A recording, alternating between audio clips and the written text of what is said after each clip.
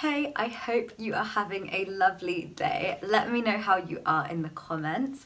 Today we're to talk all things UCAT and I'm to tell you guys how I managed to get a high UCAT score when I was applying to medical school. If you want to see more like medical school advice videos, please do subscribe. I'm going to be posting them every Thursday. Anyway, let's get into the UCAT video. There's a lot of things I want to talk about in this video and a lot of advice that I want to give, but before getting into that, I'm going to do a quick overview of how the UCAT actually works and the types of questions in it. So the UCAT is a two hour exam in total and there's five sections each of the five sections is given a different time limit. I hope that makes sense. So the first section is VR, which is verbal reasoning. So in this section, they give you a lot of text passages and you need to answer multiple choice questions. Like if a statement is true, false, or can't tell, or you're given questions and you're asked to select the correct statement, like based on the text, stuff like that. Like essentially they're testing that you can read and take in a lot of information and then answer questions on it. For that, you get 44 questions, which is like 11 passages because there's four questions per passage and you get 21 minutes to do that in, which sounds absolutely crazy.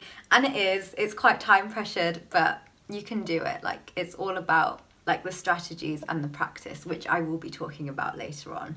So that's the first section. The second section is DM, decision making. So you get 29 questions and you have 31 minutes to answer all of those in this section. I don't really know how to describe this section because there's quite a random array of questions, but yeah, make sure you definitely look at example questions and practice tests and things to know what you're looking for.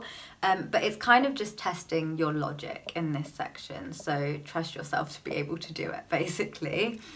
The next section is quantitative reasoning, QR. So this is maths and it's at GCSE maths level is what they say. You get 36 questions and you get 24 minutes to do it in. That does sound very time pressured, but I promise some of the questions are easier and you can do them really quickly and then obviously some of them are a bit harder. The fourth section is abstract reasoning, AR. You get 55 questions and 13 minutes to do it. Again, I know that sounds crazy, but basically in abstract reasoning, they give you two patterns and essentially you spot the difference between them usually, or they give you like a sequence of patterns and you have to pick the next one. So it's like visual spotting patterns, spotting differences, things like that. So for the four sections that I've just said, VR, DM, QR and AR, those are all given a score out of 900. I'm not exactly sure how they convert like your raw mark into a score out of 900, but that's basically what's done. People say that if you are applying to medicine, you can most likely pass the UCAT without doing any revision for it. But if you do prepare and revise for it, you will get a high score. And I really strongly believe that if you get a high score in the UCAT, you're really set to get invited to interview. I genuinely think a high UCAT score helps so much. So we're looking to get at least 650 out of 900. And if you get 700, you're all good, basically. That would be my advice, and you can definitely do it. Just keep watching. Those were only four sections, and I mentioned that there's five. The fifth section is SJT, Situational Judgment. So it's quite a new section. I think they literally added it in the year that I did it. Um, and this one, you get 69 questions and 26 minutes to answer them. Again, don't worry, it's not as bad as it sounds. You're basically given situations and scenarios which you may face as a medical student or as a doctor. And you're expected to select the most appropriate response or like which factor is the most important, stuff like that. So you need to know about good medical practice, basically, which I'll talk about in a bit. In that section, you get put into a band band, with band one being the highest and band four being the lowest. Ideally, you want to be in band one or two. When I did it, because it was a new section, it didn't carry that much weighting, I don't think. That might have changed now, so it's definitely worth checking how important your uni thinks SJT is. But yeah, the ideal is to do well in every section. now let's talk advice. So the first thing to do in terms of UCAT is to check if the unis that you want to apply to actually need it. 30 medical schools in the UK need it, so it's highly likely that at least one of the med schools that you're applying to will require the UCAT. And then, yeah, if your uni does require it, you need to keep on top of applying. So I think applying happens in the summer of year 12 if you are in year 12 and applying in year 13. Um, if not, it happens in the summer before the year you're going to be going to university, if that makes sense. Um, so yeah, keep on top of it. Keep checking the official website for updates and make sure you register for the test as soon as you can to get it on a date that you want. My first piece of advice is regarding when you should actually book your UCAT, like when you should actually take the test. There's a lot of factors to consider when you're choosing your date. It might not seem like a big deal, but it actually could be. For me personally, I booked my test at the end of my year 12 summer. So the end of August before school was about to start. That meant I had the whole summer holidays, should I need it, to revise and get a good UCAT score. And then I could go back to school and start focusing on the rest of the medical school application, like personal statement, interview, A levels, things like that. So I think you can take the test anywhere between July and end of October or something like that. So yeah, when you're choosing your date, here's a few things to consider. Are you going on holiday in the summer? I know it's COVID, but fingers crossed this summer gets us somewhere. Anyway, are you going on holiday? If you are, like, do you want to finish it before you leave for holiday? Or is that too early? And do you want to book it with enough time after your holiday to get back into work mode? Another thing to consider is are you taking the BMAT? So if one of the unis that you want to apply to requires the BMAT, I think that's taken end of October time. So you want to be thinking about leaving enough gap between your UCAT and your BMAT so that you can revise for the BMAT as well. Those are some of the things to take into consideration when booking your date. So make sure you do really think about it and you choose the date carefully. You want to have enough time to revise, you want to make sure there's no distractions, and then you want to make sure you have enough time to move on to the next stage of the application process. So that's the date of the test itself. Now on to revising and preparing for the test and making sure you can do as good as possible. Like I said, you don't need to revise technically, but I would seriously highly recommend it.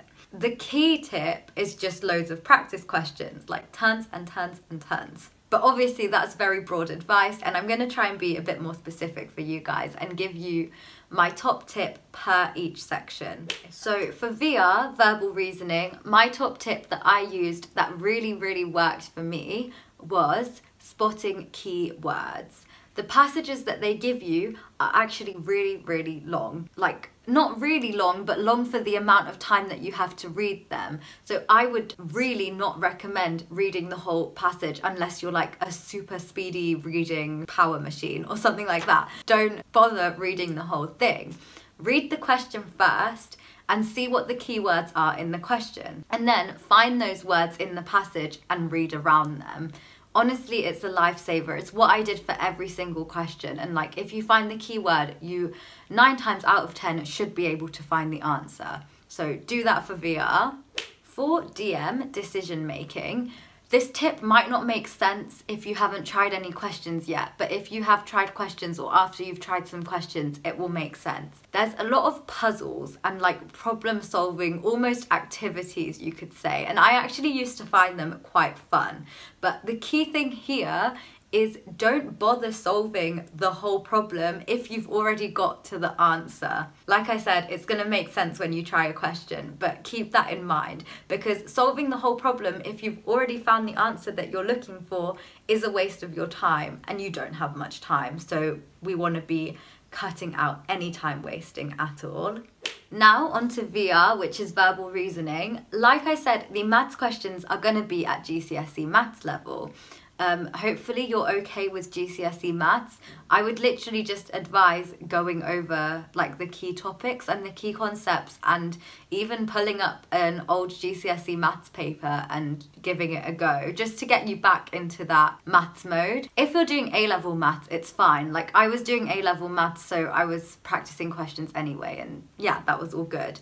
But if you're not, it will be helpful to do a GCSE maths paper. And I would highly recommend focusing on percentages because in the UCAT they bring a lot of percentages into every other topic if that makes sense. So make sure you know how those work basically. Now the final like section that's marked out of 900 is abstract reasoning, AR. This was my personal least favourite section. It's like finding patterns and differences between sets of completely random abstract shapes and I could not do it for the life of me. I don't think.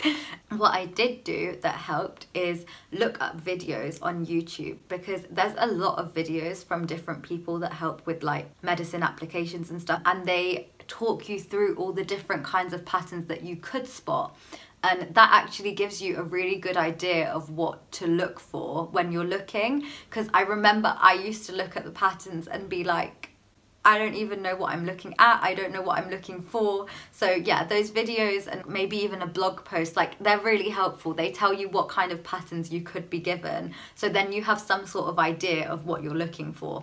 And like following on from knowing that, you literally just have to practice them and you'll get good at spotting the patterns. Now for the final section, the situational judgment section, which is in four bands, I would highly, highly recommend reading GMC's Good Medical Practice that will contain like all the knowledge you need to know to be able to make a well-informed answer in that section. So make sure you read that. Like if you're applying to medicine you're going to need to read that anyway so definitely read it for the SJTs they were my little piece of advice for each section.